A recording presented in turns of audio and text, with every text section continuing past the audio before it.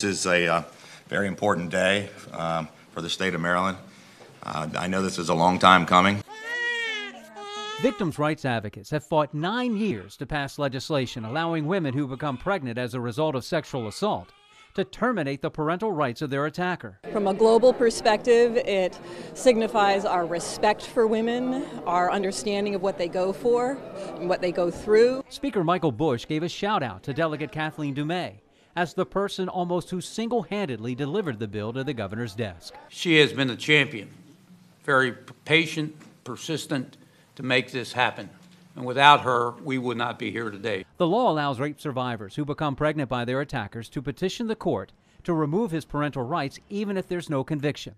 A judge will use a clear and convincing evidence standard to make that decision. Have a judge weigh and balance what should be done. Terminating anyone's parental rights is a major um, decision and a very substantial decision, and it should be done in a fair manner.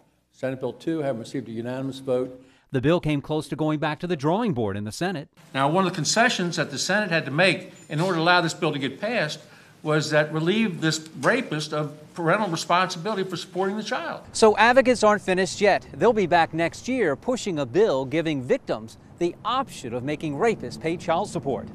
In Annapolis, David Collins, WBAL TV 11 News.